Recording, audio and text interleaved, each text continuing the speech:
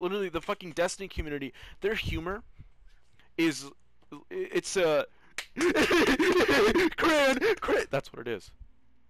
What? What, what word were you saying? Cran, crayon, Crayola. Oh, yeah.